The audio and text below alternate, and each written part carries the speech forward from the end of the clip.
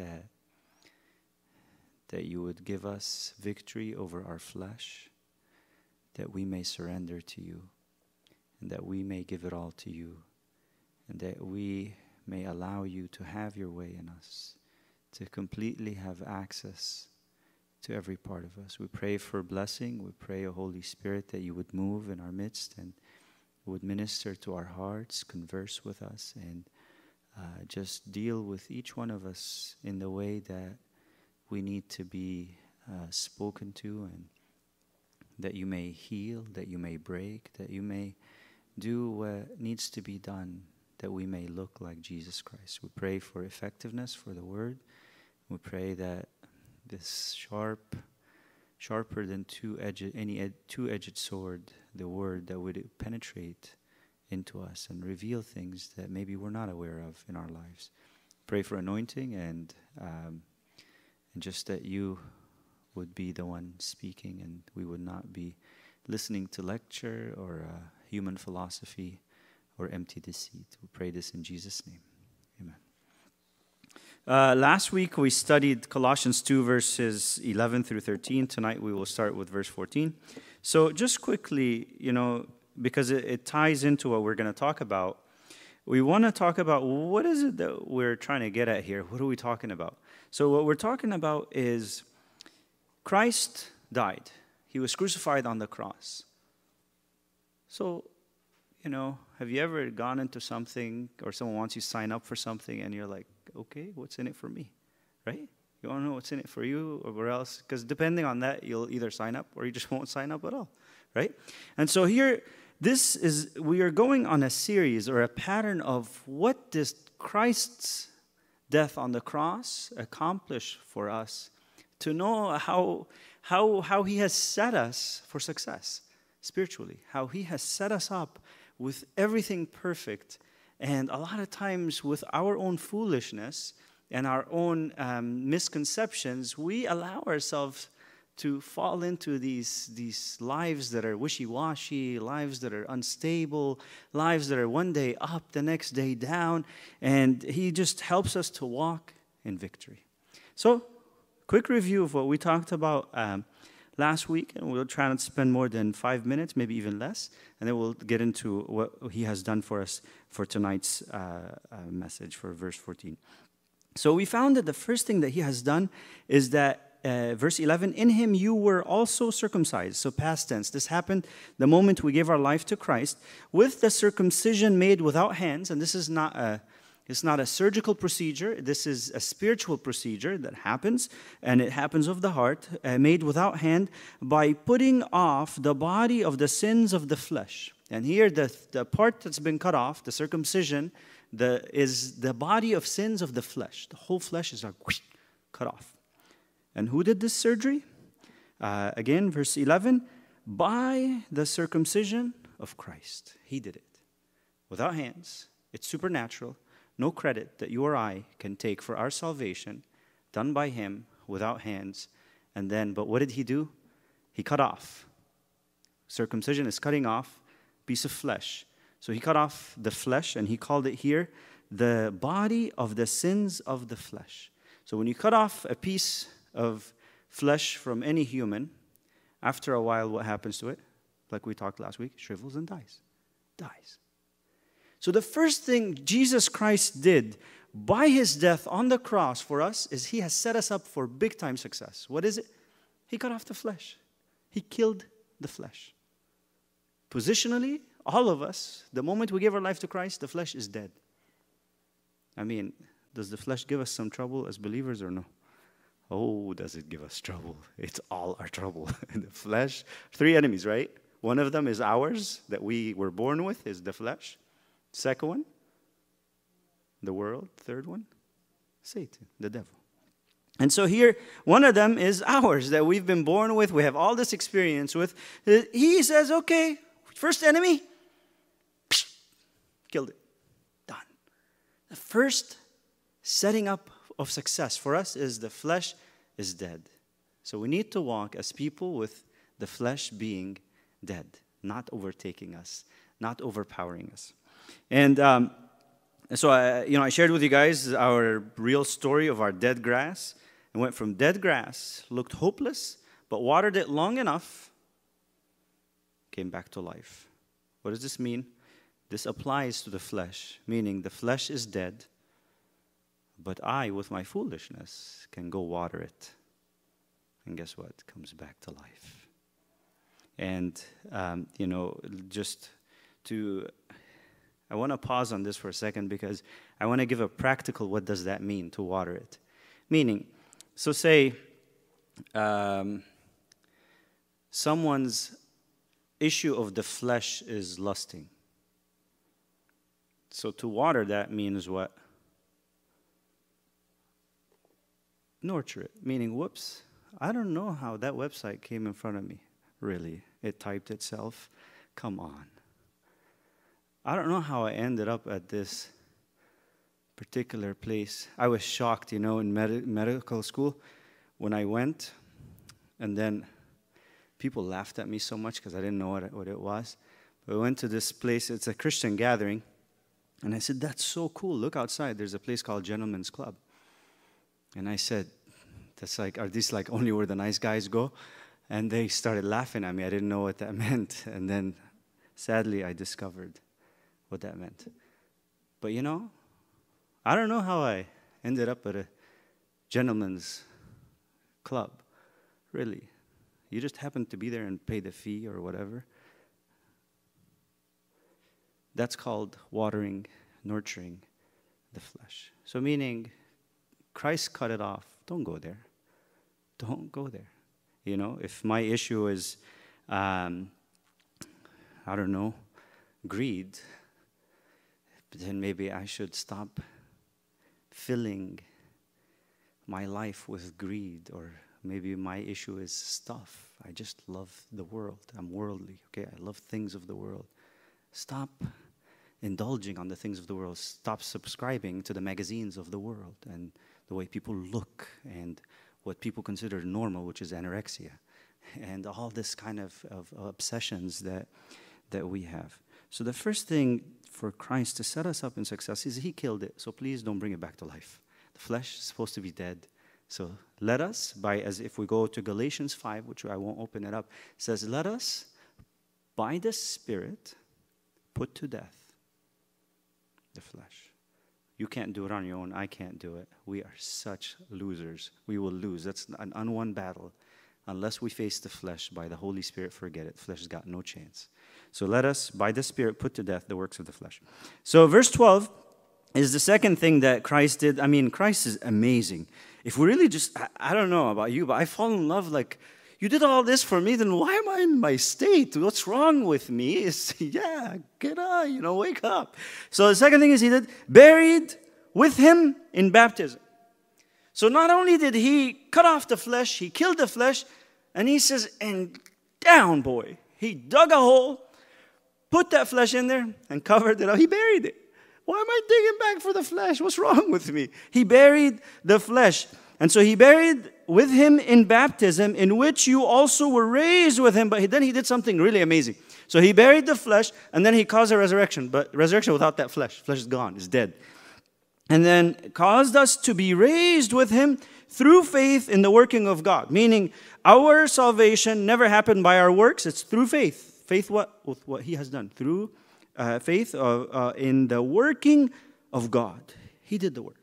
I just trust him. I accept what he has done for me. And so then I accepted the work that he has done for me, who raised him from the dead. So I find myself like, wow. So my flesh is dead? Yeah. Okay. My flesh is buried? Yeah. How about where am I? Raised with him. I don't know, man, but that is sweet. That's really good. Keep going. And you, being dead in your trespasses and uncircumcision of your flesh, he says, Oh, look at you in the past. You were dead. And also, you had uncircumcision. But guess what? He circumcised you. He circumcised your heart, like we talked in verse 11. He has made alive together with him. Remember, you are no longer dead. You, the flesh is dead, the flesh is buried, but you are alive with him. You're alive and you have your best friend, Jesus, walking on the journey with you, but you want to know it's an exciting life. You don't have to go through life like this. But it says here what? Alive with him, having forgiven you all trespasses. How many trespasses? All trespasses. So, how many sins that a believer has committed has been forgiven? How many? All. Okay. How many? Let's say, let's not put you in this, let's put me in this. I'm a believer, and then my life is going to end tomorrow. Okay? And then between now and tomorrow, from my, when my life ends, I'm going to commit five more sins. How many of those are forgiven? Oh. Can you imagine? You know what is sin? It's a debt. Can you imagine? You know, I don't know if you've ever been in debt. It doesn't feel good. You feel changed. You feel in bondage. You got creditors that be like, pay or else. And pay with interest. Thank you very much. And there's nothing wrong on their end. It's my fault to get into debt, right? But to pay that last payment, what happens? You feel, oh, off my back. I'm free. I'm financially free. I can do whatever I want. All my money's mine now. I don't have to give any portion to anybody. You know what? Sin is gone, it's been forgiven. Because you know, if one of them wasn't, you don't go to heaven. The wages of sin, not sins, is death.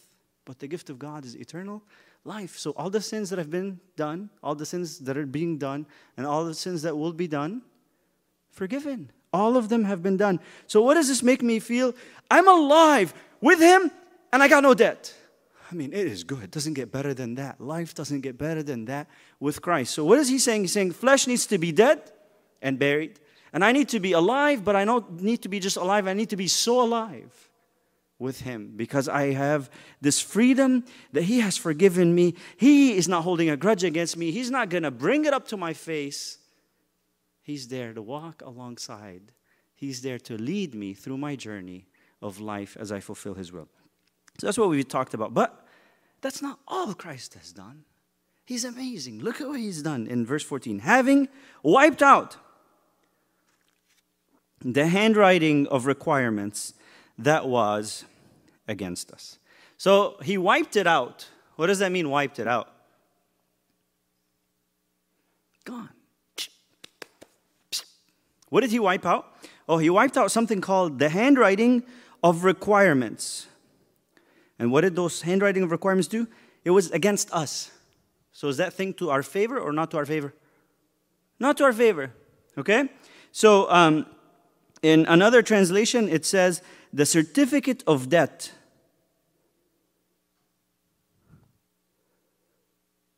He took a certificate of debt. That's against you, right? Anyone that has a certificate of debt is what? It's not a pro thing, it's a negative thing. It's against you. He took it and he says, Oh, wiped it out. He wiped it out. Wow.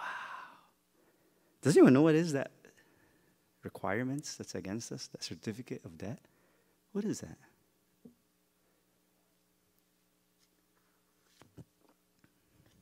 It's the law. Did you know that the law was never there to be on our side? It was there to what?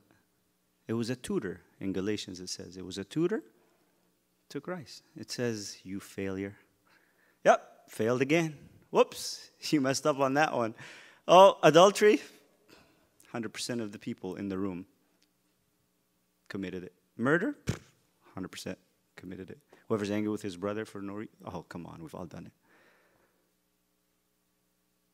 Guilty, guilty, guilty, and all it did is, well, I am, well, I am, yeah, buddy, you're going down. You are going down. That's what it says. So he, Jesus took that thing that was against us and he said, I'm going to wipe it away. Having wiped, he's already done it in the past, having wiped out the handwriting of requirements that was against us. So, first it says it's against us. Second, it says, which was contrary to us, was never for our own good. He wiped it away, and he has taken it out of the way. So here he wiped it, and he says, Okay, now let me remove it. Taking it out of the way, having nailed it to the cross. And then he took it to the cross, hammered it there. The cross, so many things happen in the cross. Guess what went to the cross? Sin went to the cross. Guess what went to the cross? Romans 6. Our flesh was nailed to that cross. Guess what went to the cross? The law, which was against us. He took it and he put it on that cross. It's amazing. He took that which was, you know, holding us, um, you know, that which had dirt on us. You know, imagine, you know, you, you, you go somewhere and someone has dirt on you. You're like, please don't talk. Please don't tell. Please have mercy. I'll give you whatever. You want some chocolate? you know, what do you want? I'll give you anything. Just please don't expose me. Right? If someone's got dirt on you, they've what? They got the upper hand. They're, they're like, uh, they give you a little look, and then you're like, okay, I'll behave. I'll do whatever you want me to say. That's what the law did. The law says, uh, guilty, guilty, guilty, my friend. You're going to hell, buddy. You are guilty. But Jesus went and he wiped it away. How did he do that? He took it to the cross. The thing is, God is just. Yes, God is loving. Yes, God is merciful. But God is also just. And so his justice says that 100% of us go where? To hell. Because if we committed one sin, equals hell. But his love and his mercy says what he wants. His desire is 100% of us go where? To heaven. The issue is reality says we're going to hell. His love says his ideal is he wants us in heaven. Is hell real or not? It's real. Who was hell made for? Yes, Satan and his angels or his demons. Never made for a human being. Jesus Christ himself is the one that said that. So, how does he do this? Well, there's a problem. There's handwritten requirements that show that we're guilty. So he says, Well, the price has to be paid. So he says, I will be that price. So he went and he took that, he paid that price with his own. By living, he fulfilled the written requirements, perfect in all. That's why he says Jesus Christ said something so bold that not one human being could ever say. He said, I stand and he says, the, the, the, the ruler of the air, Satan, comes at me and he has a beef with me. He's trying, he's been trying for 33 years 33, a little bit over 33 years. He's been trying to find one thing on me. He's been trying to find one dirt on me, and he couldn't. And he says, and he found nothing. Only he was able to do it. Why did he have to make that statement? Because he had to say that he's the only one that fulfilled the law. And then he took the payment, he paid the price for it, and that's why he has made it possible where he meets God's justice, can meet with God's love and God's mercy in Jesus Christ. And that's how heaven is possible for us. So he said, I took that and I nailed it to the cross. You know, in Romans chapter 7, Romans 7, verse 6, uh, written there, it says, But now we have been delivered from the law. Delivered, you're free. Delivered from the law, having died to what we were held by.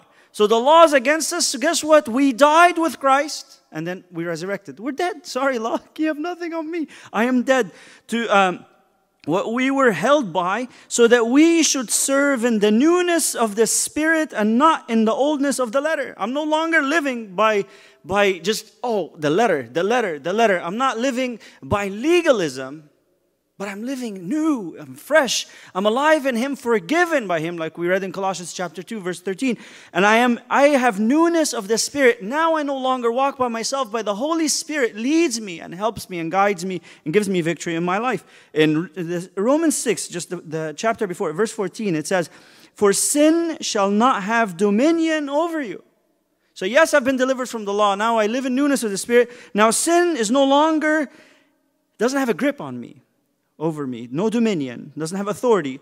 Why? For you are not under law, but under grace. I've been delivered from the law and I'm not under the law. So, guess what? If I'm not under the law, sin has no dominion, doesn't have authority over me. I'm under grace. Oh, man, this is great. No requirements against me. My sins are forgiven best things to be Christian. I can do whatever I want. I mean, it's all forgiven. What I'm going to sin tomorrow, if I'm a believer, is forgiven. So just do whatever you feel like. Well, Romans 8, verse 4. That the righteous requirement of the law might be fulfilled in us who do not walk according to the flesh, but according to the Spirit. He says, No, not at all. If you think like that, I promise you, me, I have doubt you're a believer. What he's saying here is yes, chapter 6 says, I am not under the dominion. There's no dominion of sin against me because I'm not under law, I'm under grace. Great because it's been nailed on that cross. Chapter 7 says that I am not, I have been delivered from the law. Great. So, do I live the law or not? Chapter 8 says, yes, you do. How? It says, For what the law could, uh, uh, sorry, verse 4, that the righteous requirements of the law might be fulfilled who, in who? In, in us, believers. We're supposed to be living the law. I thought we've been delivered from the law. Yes, the letter we've been delivered from. But here we live, the righteous requirement become fulfilled in us. It just becomes automatic part of our life. Who do not walk according to the flesh. Remember, flesh is dead. We can't walk by the flesh. We lose if we walk by the flesh, but according to the Spirit. Then it becomes a whole different story where I am no longer trying to live the law because I'm afraid of God, because it says you do it, you will live. And if you are guilty of one, you're guilty of all, you die. Now I find myself, look how he loved me. He died on the cross for me. He paid the price for me. He set me free. He gave me newness of life. He resurrected me. He raised me. Oh, wait a minute. He took me all the way, Ephesians, right? He took me and He seated me in the heavenlies. I find myself, I want to live for you. I can't just see this amazing love and just continue in my way, but I do realize I have a problem. I'm weak. And I find myself saying, I can do this according to the Spirit. I need to be empowered by your Holy Spirit to be able to live that life that fulfills the law, not in some person that I look up to, but in me through the Holy Spirit. You know, isn't that what Philippians? Chapter 2 verse 13 says Philippians 2:13 it says for it is God who works in you both to will and to do for his good pleasure. You want to do good? Do you want to live that law? Stop trying to do it on your own. Stop. We're terrible at it. We don't know how to do it. Just tell him, God, I need help with two things. I need help with willing. Even a lot of times, I don't even have the umph to even desire it. I want help with that. Because sometimes I find myself, all my desires are no good. But then, after you put that desire in me, can you just go to the extra step with me, Lord, and do?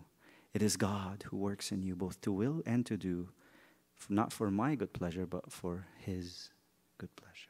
We can fulfill the law completely through the work that He has done for us. So, back to Colossians chapter 2, verse 14, we've seen that Jesus Christ did something amazing, having wiped out uh, the handwriting of requirements that was against us, which was contrary to us, and He has taken it out of the way, having nailed it to the cross. Guys, the law, no more authority over us no more authority of us. It can't, you know, we can go like that too. It's just like, whatever, man, you can't.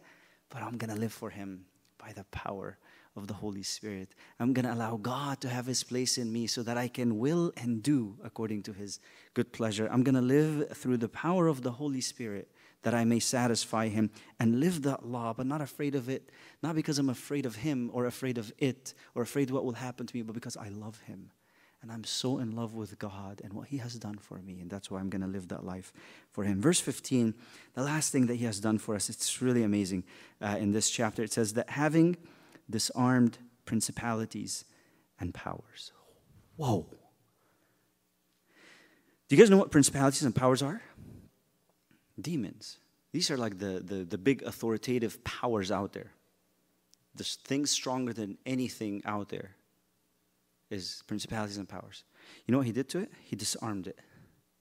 You know what disarmed means? So let's say, let's let's just to make a visual here. So I have a machine gun. Disarm you took it away. Okay? Now imagine. Imagine if someone comes up to you, okay? Hopefully no one has ever experienced something like that. But imagine someone comes up to you with a gun puts it to your head and says, Give me your money right now, what would you do? That's pretty scary. I mean, you give him the money, that's the easy thing, but a lot of times you won't even remember where the money was. Like, you guys remember Nazih's story on Sunday when he was sharing? He says, you know, he was a doctor in prison, and they put him with another prisoner who, this is like the, the, the heavy duty criminals, and all they give him is a whistle and they have all these doors. He says it takes half an hour to open. He says they say they told him you know if someone does something bad just whistle and we'll come in. He's like first of all I, won't even have the power to whistle. I'm gonna be so scared to whistle for same thing you know if someone puts a gun to your head and says you know give me your money or i'm gonna shoot you you'd be scared. You're gonna want to give him the money. Now let's say okay? Let's say it's like some scrawny little guy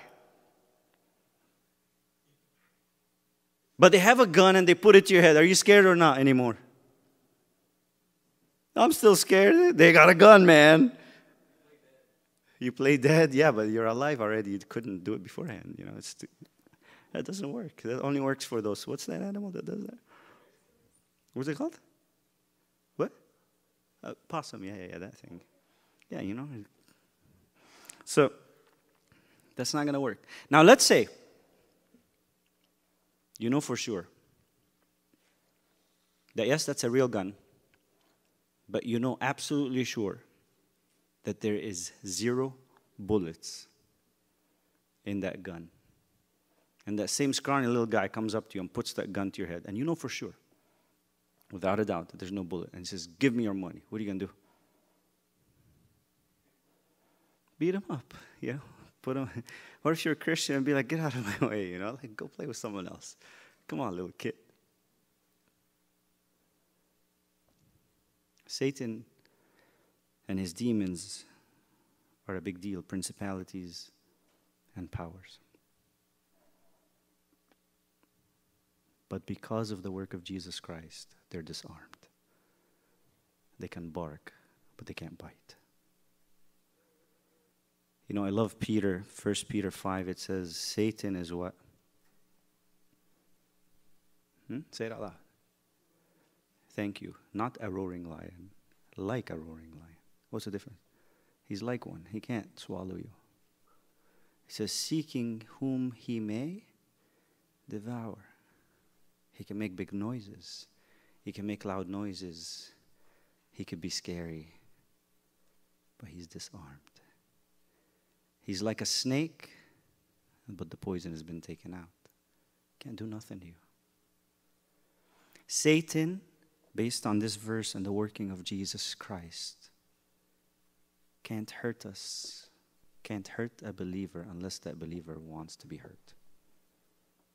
Unless they put themselves in Satan's mouth. He's disarmed. He's got blanks. He's got fake weapons. He's got nothing. Having disarmed principalities and powers. And I think if we really realize this, I don't think we'll be afraid of Satan anymore. I don't think he's, that's it. He's done. But Christ did not stop there, did not just disarm Satan, and that would be amazing. But he disarmed principalities and powers. This is the first thing. This is talking about victory in Christ. The second thing is he did, he made a public spectacle of them. What's them? Satan and all his crew. What's a public spectacle? Meaning, huh? Making fun, yes, that would, that's one. But also, public spectacle, is this something that is widely known or is this something that's secret? Everyone knows. This, this is the type of thing is on Facebook, is on Pinterest, is on, let me think of all this social, what did you say? Twitter. Oh, Twitter, of course. How can I forget Twitter? Everything goes on Twitter right away. Is on Twitter. This hit Twitter first, okay, before Facebook, all right? from my knowledge of the social media, and I'm on none of it. Okay, don't try to find me. And if you find my name, it's someone who's a who's trying to imposter. And then um, what else? Uh, you know, it's on the internet. It's everywhere. It just it's it's in the newspaper. If you ever buy one, what? Who buys newspaper nowadays, right? You do. Oh, good. You know, they throw it at our door once a week. But um, so it's made known. So here he says, You are disarmed, Satan, but also I've exposed you to believers. You got no new tricks. And every single trick you've got has been exposed and revealed in the Bible. That's why I love Second Corinthians. Paul says, For we are not ignorant of his thoughts about Satan. We know how you think, we know how you do it, we know how you play the game, and it's wide, it's all over the web, man. To Satan. If we really understand what Christ has done for us in this part of Colossians, we would fall in love with Christ and look at ourselves and say, Why are we so sad? Why are we so lame in our walk? Because it doesn't make any sense, it doesn't add up. Because I'm getting tricked by someone who's been exposed in his ways that are known and who's got no power is disarmed, yet I fall for his traps. Really? It doesn't make any sense. You know, if we saw someone that fell for that, we'd say, Whoa, you're so dumb. Well, I want to tell you, we're all so dumb. But the third thing, he didn't stop there. Triumphing over them in it. Christ triumphed in it. You know, triumph is a big word that, in order to understand it, we have to go back 2,000 years in history, to go back to the Roman Empire. So, the way a triumph is called is when a Roman uh, leader goes and, and conquers, in order to be able to get something called a triumph, a Roman triumph, they have to go conquer extra land, but not just conquer extra land, they have to kill at least 5,000 soldiers. So 4,999, not good enough. 5,000 soldiers minimum, and have extra land that they've won for the Roman Empire. Then they come back and they have they get something that's very special called a Roman triumph. Roman triumph, the leader walks in it or usually rides on a horse and as the leader rides on a horse, those who are with him, you know, the people that helped him, they walk behind him. And then he goes, he's usually on a golden chariot, and he's going to the, to the place of the Olympics over there, the big stadium. And as he's doing this, there are priests coming, and they bring this, this, this fragrance and aroma, and then everyone smells that aroma. And when you smell that aroma, you're like, triumph, there's victory here. And that is special. So here, Jesus Christ, he did something called what? that triumphing over them in it. He had triumph, he had complete victory. That means he had at least new land, and he killed at least 5,000 soldiers. Has Jesus done that or no? Or has he done that? First of all, he wiped out Satan. And he defeated Satan. But you guys remember on the day of Pentecost how many people came to know Jesus Christ? No, 3,000. And then you flip one page or two pages in the book of Acts, and in just a few days, it went from 3,000 to 5,000. There's the 5,000. He has conquered hearts without a sword. He has conquered hearts by his love, and he's walking in triumph. He, we are following a Lord who has complete victory, and there's this aroma that's coming out. You know, in um, Ephesians chapter 4 and verse 8, it says, Therefore, he says, when he, about Jesus, ascended on high, he's going up, with this after the work of the cross he led captivity captive and gave gifts to men. He he defeated satan. He took captivity and then he gave gift to men. And then he started giving us giving us gifts now open up Second corinthians i'll end with this verse Second corinthians chapter 2 and verse uh, 14 2 corinthians 2.14 now thanks be to god here paul is like, oh, I'm so excited. Thanks be to God. Why? Who always leads us in what? Triumph. What is a triumph? We just, we just described it. I'm not going to say it again. So, now thanks be to God who always lead us in triumph in who? In Christ. Who did the triumph? Him, not us. Who always leads us in triumph. So, are we trying to get triumph or are we walking in triumph? We're walking in triumph because the battle has been won already. We're just walking. We are the soldiers behind our great leader who has won the battle. And we are walking in triumph. He always wants to lead us in there. He says, Hey, believer, believer,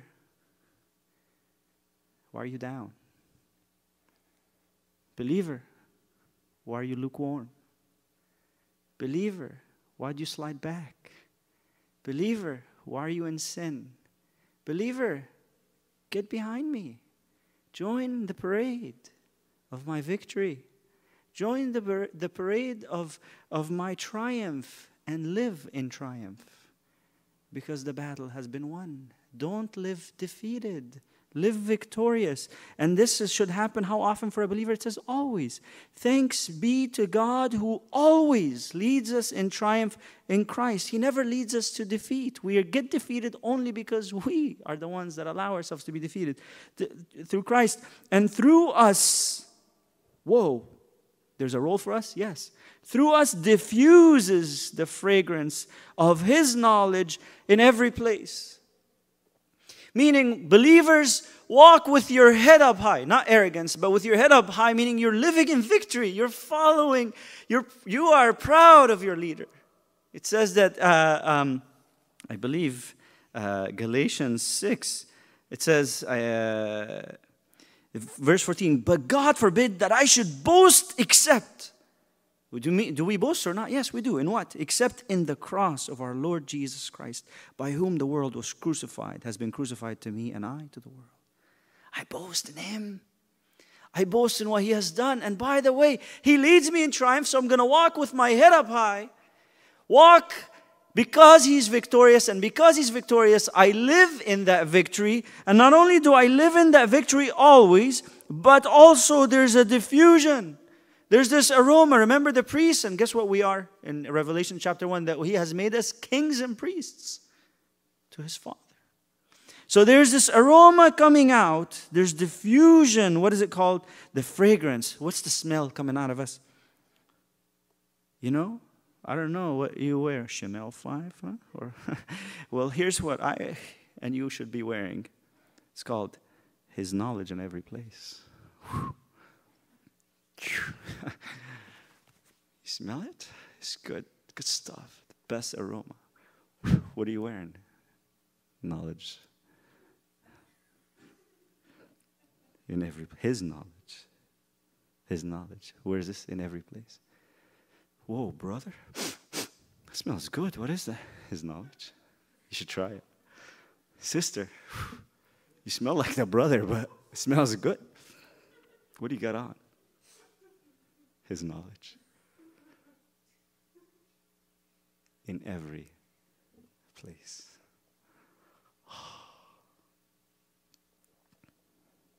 I don't know if this puts you to shame or not, but it does put me to shame.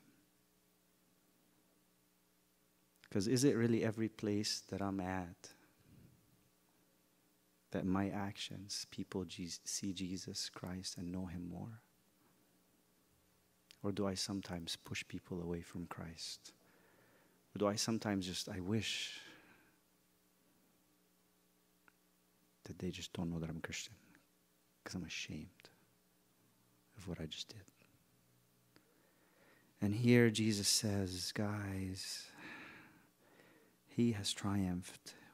He always leads us in triumph. So put on that perfume, be that fragrance, not in some places, not when you feel like it, not when it's appropriate, but His knowledge in every place. Just to read our verses that we studied Colossians chapter 2, verse 14. Having wiped out the handwriting of requirements that was against us, which was contrary to us, and he has taken it out of the way, having nailed it to the cross. I pray that legalism is out of our life, but now we live by the Spirit and we fulfill the law in us, not through our power anymore, but through his power. Verse 15 having disarmed principalities and powers. May the Lord help us to not fear Satan, not be afraid of Satan. Can he read my thoughts? Can he do? Forget it. He's disarmed. Just don't give him your ear. That's what made Eve fall. Eve didn't fall after the conversation, Eve fell because she gave him an ear. He's disarmed. The second is he made a public spectacle of them. All of Satan's thoughts, all of his tactics, all of his ideas have been revealed in the Bible. The problem is we don't know the Bible. Or we know, but we know partially. We don't know enough. That's why when he came at Jesus and he didn't like that Jesus kept telling him, It is written, it is written, because Jesus only speaks the Bible. Then Satan says, Well, it is written. And Jesus says, Yes, but it's also written, meaning I know what's written, but you didn't look at the context of what it says. And that's why he says, Don't test the Lord your God. In that section, it says, If it happens that this is where you end up, then the Lord will take care of you. He will get his angels to catch you. But he doesn't say to walk in there by yourself. Read the context.